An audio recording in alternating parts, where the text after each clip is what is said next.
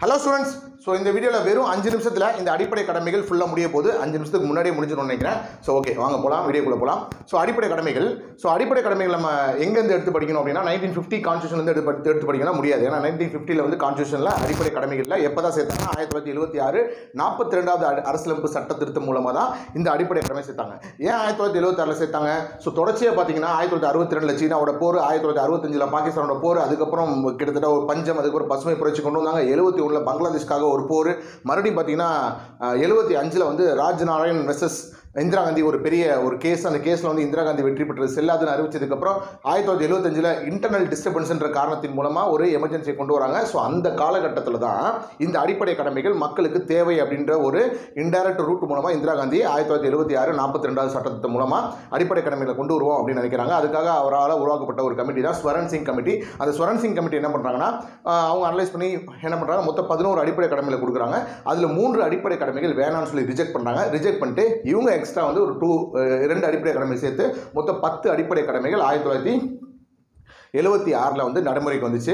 அந்த மூன்று அடிப்படை கடமை என்னென்னா வரி கட்ட வேண்டியது நீக்கப்பட்ட மூன்று அடிப்படை கடமை. வரி கட்ட வேண்டியது ஒரு குடிமகனோட கடமை அப்படின்ற மாதிரி சொன்னாங்க. வரி கட்ட வேண்டியது ஒரு குடிமகனோட கடமை. அதே மாதிரி அரசியலமைப்பு சட்டம் மீ அரசு அரசியலமைப்பு சட்டத்தை மீறக்கூடிய அரசாங்கத்தை எதிர்த்து வழக்கு போகிறதுக்கு எந்த விதமான சட்டங்களும் கிடையாது அப்படின்ற மாதிரி சொன்னாங்க. ஸோ இது மாதிரி ஒரு ஒரு அதே மாதிரி அடிப்படை உரிமைகளை யார் யாரெல்லாம் அடிப்படை கடமைகள் செய்யலையோ அவங்க மேலே சட்ட நடவடிக்கை எடுக்கலாம். இந்த மாதிரி ஒரு மூன்று விஷயங்கள் வந்து வச்சுருந்தாங்க. இது பண்ணால் மக்கள் மத்தியில் மிகப்பெரிய கலவரம் வெடிக்குன்றனால இந்த மூணுத்தையும் நீக்கிட்டாங்க. அப்போ அடிக்கடை அடிப்படை கடமைகள் செய்ய வேண்டியது ஒரு மனிதனோட ஒரு தனிப்பட்ட ஒரு கடமையாயிடுச்சு. அரசாங்கம் விதிக்கக்கூடிய சட்டத்தின் உட்ப சட்டத்துக்கு உட்பட்டு வரல. அப்போ அடிப்படை கடமைகள் செய்யலை அப்படி சொல்லி நம்ம கோ- நம்மளை வந்து போலீஸ் ஸ்டேஷனோ அல்லது கோர்ட்டோ நம்மளை கைது செய்ய இயலாது அப்படின்றத நம்ம புரிஞ்சுக்கலாம். ஸோ அதே மாதிரி வந்து அப்போ அடிப்படை கடமைகளை இல்லைனா ஒன்றுமே ஆகாதா நமக்கு? அப்படின்னு பார்த்தீங்கன்னா ஆகும். ஒரு சில சட்டத்தின் மூலமாக ஆகும். இப்போ எக்ஸாம்பிளாக பார்த்தீங்கன்னா ஆயிரத்தி எட்நூற்றி அறுபது இந்திய பீன இந்திய தண்டனை சட்டம் அப்படின்ற சட்டம் வந்து ஐநூற்றி பதினோரு செக்ஷன் வச்சிருக்கு. அவங்க நம்மளை அரெஸ்ட் பண்ணுவாங்க. ஒரு சில விஷயங்கள் நம்ம செய்யலாம் எல்லா அடிப்படை கடமையும் இல்லை. ஒரு சில அடிப்படை கடமையில் ஒரு சில விஷயங்கள் நம்ம செய்யலாம் அப்படின்னா நம்மளை அரெஸ்ட் பண்ண வாய்ப்பு இருக்குது ஆயிரத்தி எட்நூற்றி அறுபது இந்தியன் பீனல் கோடு அப்படி அமைச்சிடும் அதே மாதிரி ஆயிரத்தி தொள்ளாயிரத்தி ஐம்பத்தி ஒன்று மக்கள் பிரதிநிதித்துவ சட்டம். அதே மாதிரி ஆயிரத்தி தொள்ளாயிரத்தி ஐம்பத்தி அஞ்சு இந்திய குடிமை சட்டம். ஆயிரத்தி தொள்ளாயிரத்தி ஐம்பத்தி அஞ்சு தீண்டாமை ஒழிப்பு சட்டம். அதே மாதிரி ஆயிரத்தி தொள்ளாயிரத்தி அறுபத்தி ஏழு சட்டவிரோத பா நடவடிக்கைகள் பாதுகாப்பு சட்டம். ஆயிரத்தி தொள்ளாயிரத்தி எழுபத்தி ரெண்டு வ- வனவிலங்கு பாதுகாப்பு சட்டம். ஆயிரத்தி தொள்ளாயிரத்தி எண்பது காடுகள் பாதுகாப்பு சட்டம். ஆயிரத்தி தொள்ளாயிரத்தி எண்பத்தி ஆறு சுற்றுச்சூழல் பாதுகாப்பு சட்டம். ஸோ இந்த மாதிரி சட்டங்கள்லாம் இருக்கு இல்லையா? இந்த மாதிரி சட்டங்கள் வந்து அடிப்படை கடமைகளை டைரெக்டாக சப்போர்ட் பண்ணாமல் இன்டைரக்டாக வந்து சப்போர்ட் பண்ணும். இந்த சட்டங்கள் வாயிலாக நம்ம கைது செய்யப்படலாம். அப்போ பதினோரு அடிப்படை கடமைகள் மூலமாகவும் நம்ம கைது செய்ய முடியாது. இந்த சட்டங்கள் வாயிலாக ஒரு சில அடிப்படை கடமைகளை நம்ம செய்ய தவறுனா நம்ம வந்து கைது செய்யப்படலாம். அப்போ ஆயிரத்தி தொள்ளாயிரத்தி எழுபத்தி ஆறில் மொத்தம் பதினோரு அடிப்படை கடமை கொண்டு மொத்தம் பத்து அடிப்படை கடமை வந்துச்சா? பதினொன்றாவது அடிப்படை கடமை எப்போ வந்துச்சுன்னா வாஜ்பாய் பீரியடில் வந்து ரெண்டாயிரத்தி ரெண்டு எண்பத்தி ஆறாவது சட்டத்திட்டம் மூலமாக வந்துச்சு பதினோராவது அடிப்படை கடமை. அந்த பதினோரு அடிப்படை கடமையை ரெக்கமெண்ட் பண்ண ஒரு கமிட்டி இருக்குது அந்த கமிட்டி பேர் வர்மா கமிட்டி. அந்த வர்மா கமிட்டி எப்போ ஆரம்பிச்சாங்கன்னா ஆயிரத்தி தொள்ளாயிரத்தி தொண்ணூற்றி ஒன்பதில் ஆரம்பிச்சாங்க. இப்போ அந்த பதினோரு அடிப்படை கடமையை ஒரு ஷார்ட்கட்டாக சொல்லிடுறேன். அந்த இதை மட்டும் ஞாபகம் வச்சுக்கோங்க. ஏன்னா அடிப்படை கடமை ஃபுல்லாக சொல்லிடுவாங்க.